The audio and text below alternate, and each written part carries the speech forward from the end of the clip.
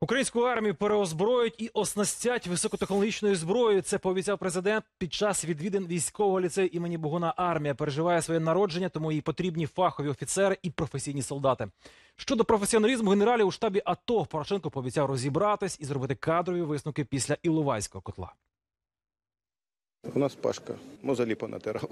Ну, да, ну це, це, це теж нормально. Це всі повинні через це пройти. Раніше у ліцеї імені Богуна дітей віддавали не лише ті, хто мріяв про військову кар'єру для синів. Дисципліна, форма, казарма. Батьки визнавали, хлопчики виходили звідси чоловіками. Нині чи не вперше усвідомлюють, військо – це не просто марширувати на плацу. Святкова лінійка розпочинається із хвилини мовчання за випускниками, загиблими на Донбасі. Родина корінних з Кіровоградщини віддає до ліцею Вадима. Він хоче бути першим у родині військовим. Захищать Україну хочу. А хто ж повинен захищати? Цього року до ліцею оголосили додатковий набір для юнаків із зони АТО. Андрій Стегнієнко – один із 32 переселенців з Донбасу, які навчатимуться у Києві. Із батьками, дідом та бабусею вони вже місяць, як виїхали з Донецька. Попереду рік навчання і розуміння. Додому він може повернутися як захисник зі зброєю в руках. Я очень сподіваюся, що все закінчиться якби бы в благо єдиної України. А в киянина Жені Шемякіна тато вже на війні добровольцем. Каже, що все в них нормально. Саме головне для мене. Щоб з ним все було добре. На перший дзвоник до Богунівців приїхав президент. Петро Порошенко обіцяє війську переозброєння, військовим підтримку.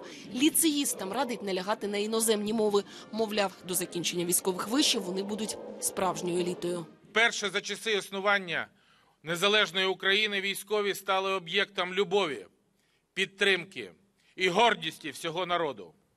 Я знаю, що така солідарність розправляє крила, надає впевненості і мужності.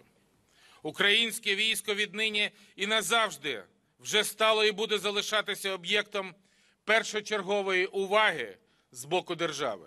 Богунівський ритуал. Старші ліцеїсти вручають погони молодшим. Президент особисто прикріплює погони першокурснику Івану Невмитому. Привітав мене і побажав подальшої служби в Збройних силах України. Ти йому щось сказав? Служу народу України. Конкурс до ліцею цьогоріч був незвично низьким. Півтори особи на місце у рази менше, аніж у попередні роки, визнає керівництво. Того року десь був е, 2-4 чоловіки на місце. От, е, в тому році, ще рік по тому, то 3-2 десь чоловіки на місце був. Ну, От, але в цьому році дуже високий процент е, і, і саме дітей, військовослужбовців.